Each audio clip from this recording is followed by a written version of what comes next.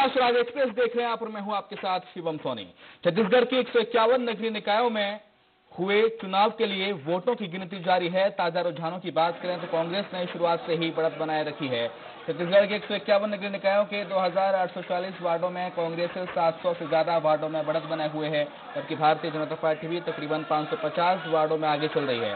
कुल मिलाकर देखें तो अब तक की स्थिति यह है कि प्रदेश के 10 नगर निगमों के 542 वार्डों में से कांग्रेस 270 में आगे चल रही है, जबकि एक वार्डों में भारतीय जनता पार्टी बढ़त बनाए हुए है। छत्तीसगढ़ जनता कांग्रेस सोलह वार्ड और निर्दलीय छियासठ वार्ड में आगे है। वहीं प्रदेश के कुल 38 नगर परिषद के सात वार्डों के शुरुआती रुझानों पर नज़र डालें तो यहाँ पर कांग्रेस एक वार्डों में बढ़त बने हुए है, जबकि भारतीय जनता पार्टी 120 वार्डों में आगे चल रही है। वहीं जनता कांग्रेस सात और निर्दलीय उनतालीस वार्डों में आगे है। इसके अलावा 103 नगर पंचायतों के 1545 वार्डों में कांग्रेस दो सौ अठासी, भाजपा 232 जोगी कांग्रेस 11 और निर्दलीय छहत्तर वार्डों में आगे चल रहे हैं। आपको बता रहे हैं प्रदेश में क्या एक सौ इक्यावन नगरीय निकायों में इक्कीस दिसंबर को चुनाव हुए थे।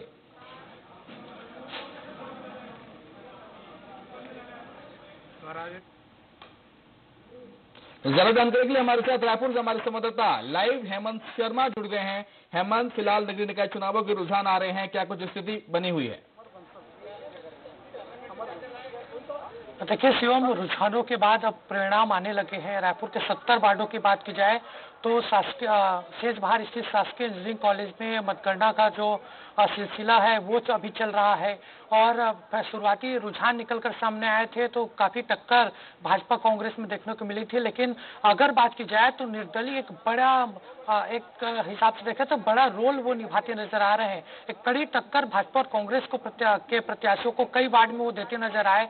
और अब कई प्रत्याशी जीतकर सामने आ रहे हैं। कांग्रेस से तीन से चार प्रत्याशियों ने अब तक जीत। हासिल कर ली है। इसके अलावा बीजेपी के भी एक प्रत्याशी ने जीत हासिल कर ली है। और हमारे साथ अभी वार्ड क्रमांक उनतालीस आत्मानंद वार्ड के विजय प्रत्याशी अमर बंसल मौजूद हैं। निर्दलीय के रूप में इन्होंने चुनाव लड़ा था। और सबसे खास बात मैं बता दूँ, नंगे पाव रहकर पूरा चुनाव प्रचार इन्होंने किया था। बातचीत करते हैं। बड़ी जीत दर्ज की है। कांग्रेस, भाजपा के उम्मीदवार उस जगह पर थे, मैदान में थे। चाहे कांग्रेस के, वहाँ पर विजय अग्रवाल की बात विकास अग्रवाल की बात की जाए, ओमकार बैस, बड़ा चेहरा, रमेश बैस के परिवार से आते हैं, उनको हराकर आपने एक बड़ी जीत दर्ज की है। देखिए, देश हमें देता है सब कुछ, हम भी तो कुछ देना सीखा है।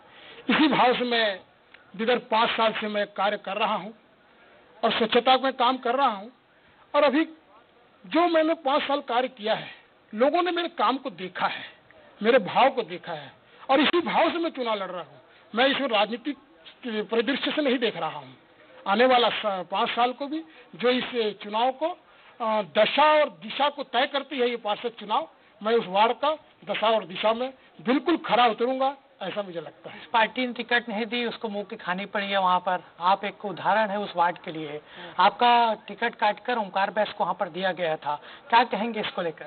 नहीं मैं ऐसा इसलिए नहीं कह पाऊँगा क्योंकि मैं वहाँ का भारतीय जनता पार्टी का सदस्य भी नहीं हूँ। और मैं राष्ट्रीय स्वयं सेवक संघ का एक स्वयं सेवक प्रयास तो कर रहे थे प्रयास में देखिए अनुसांगिक संगठन है वो मेरा। और मैंने अगर काम करने की इच्छा ज़ाहिर की है तो मैंने वहाँ निवेदन किया था मुझे अगर दिया जाता तो ठीक है।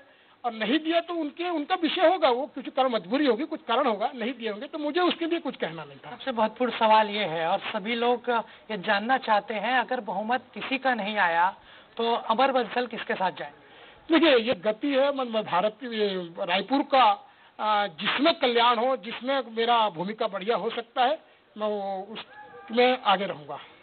शिवम, ये निर्दलीय प्रत्याशी अमर बंसल एक बड़ी जीत। एक हज़ार अस्सी वोटों से भाजपा और जो कांग्रेस के प्रत्याशी थे, उनको इन्होंने हराया है। और एक तरीके से देखा जाए तो प्रचार में काफ़ी माहौल इन्होंने बनाया था।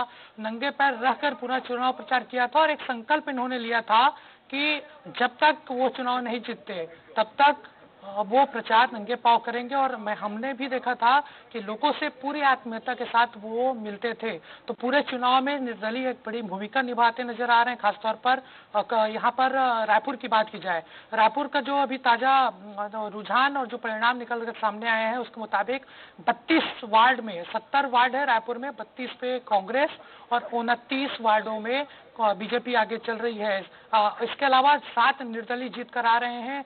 और इसके बात की जाए तो दो जो जनता कांग्रेस के प्रत्याशी हैं, वो बढ़त बनाए हुए हैं। तो निश्चित तौर पर ऐसे में भूमिका निर्दलियों की बढ़ जाती है और कांग्रेस और भाजपा में कड़ा मुकाबला अभी देखने को मिल रहा है। क्या सूबे में सरकार होने का फ़ायदा कांग्रेस को मिल सकता है इस परिणाम में?